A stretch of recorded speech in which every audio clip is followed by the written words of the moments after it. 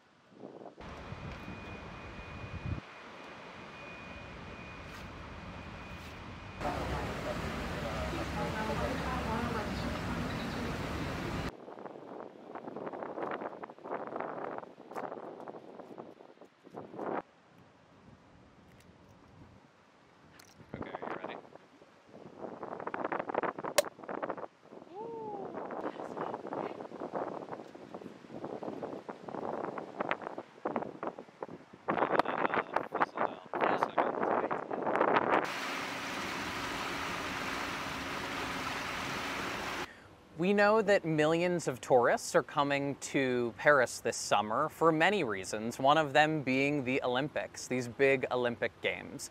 And so, with all of these tourists in the city, we want to delight them with fun experiences with Uber. This is one of the few things we are doing for residents and tourists alike, and uh, we hope that they enjoy this offering.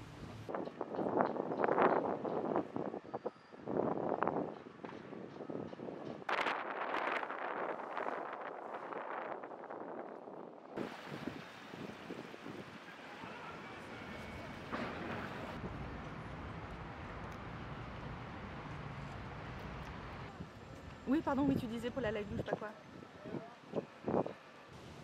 So, our Uber Cruise offering started on July 12th, and so far, all of those slots for July 12th through July 18th have completely sold out. We'll be offering this Uber Cruise again from July 28th through August 3rd. Those bookings have not opened yet, but they will open the week of July 22nd.